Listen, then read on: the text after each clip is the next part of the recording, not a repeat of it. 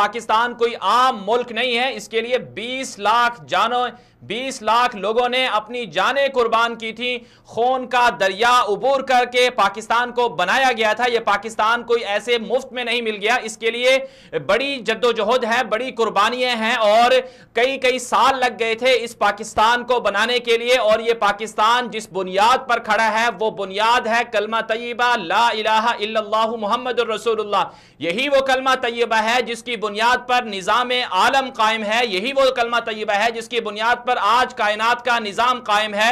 یہی وہ کلمہ طیبہ ہے جس کی بنیاد کے لیے، جس کی جس کی تبلیغ کے لیے رسول اکرم صلی اللہ علیہ وسلم کو مدعو کیا گیا۔ اور دنیا کی تاریخ میں پاکستان واحد ایسی ریاست ہے جو نظریہ اسلام کی بنیاد پر بنی ہے۔ اور یہ نظریہ اسلام کس بنیاد پر بنایا گیا؟ پاکستان کو نظریہ اسلام کی بنیاد کیوں دی گئی؟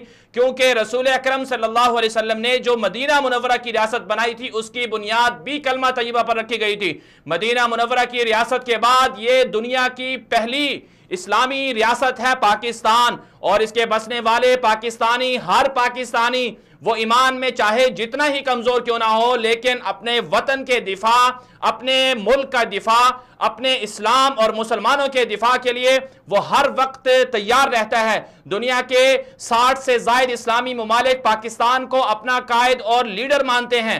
دنیا کے تمام کے تمام مسلمان ڈیڑھ ارب کے قریب مسلمانوں کی آبادی پاکستان کی طرف نظریں اٹھا کر دیکھتی ہے کہ پاکستان پر، پاکستان ہمارا محافظ ہے اور پاکستان نے نہ صرف کشمیر کشمیر کے مسلمانوں کی مدد کی، بلکہ برما، فلسطین، جہاں کئی مسلمانوں پر مظالم ڈھائے گئے، پاکستان نے صف اول کا کردار ادا کیا۔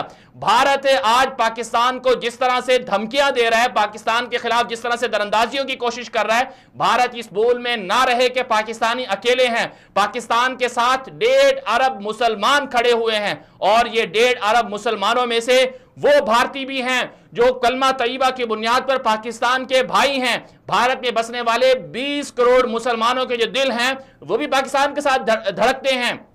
یہ الگ بات ہے کہ وہ بھارت کے اندر ہندوؤں کے زیر اثر رہ رہے ہیں، ان کی مجبوری ہے۔ لیکن اگر جنگ ہو گئی تو وہ بھارتی بیس کروڑ مسلمان بھی پاکستان کا ساتھ دیں گے۔ اس لیے بھارت کسی اسی غلط فہمی میں نہ رہے، کسی بھی غلط فہمی میں نہ رہے۔ مودی سرکار یہ بات چھوڑ دے، اپنے ذہنوں سے نکال دے کہ وہ پاکستان پر حملہ کر کے پاکستان کو کمزور کر سکتا ہے۔ جیسا کہ ناظرین کرام، میں نے شروع میں بتایا کہ بھارت پاکستان کے ساتھ یہ کشیدگی کیوں چاہتا ہے؟ اس کی بڑی وجوہات یہ ہیں کہ پاکستان پاکستان کے اندر سی پیک کا تاریخی منصوبہ شروع ہو چکا ہے۔ دنیا کے تمام کے تمام ممالک تمنا کر رہے ہیں کہ سی پیک کے اندر وہ شامل ہو جائیں۔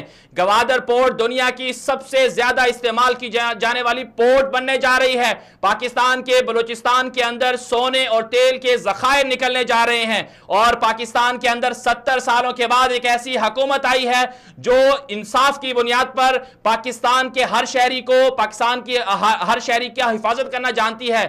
وہ وہ حکومت جو یہ چاہتی ہے کہ پاکستان ترقی کرے۔